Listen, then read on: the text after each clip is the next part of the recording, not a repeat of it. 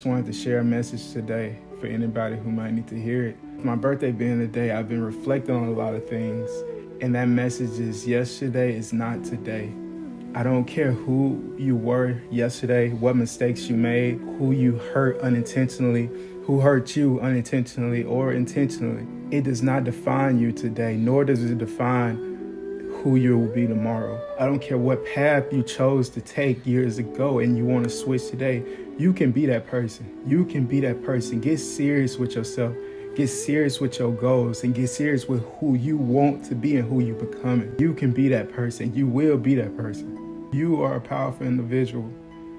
You got to see it. Each and every person who supported me thus far, I appreciate you. I love you. I thank you. From the bottom of my heart, I thank you. So God bless y'all. I'm out.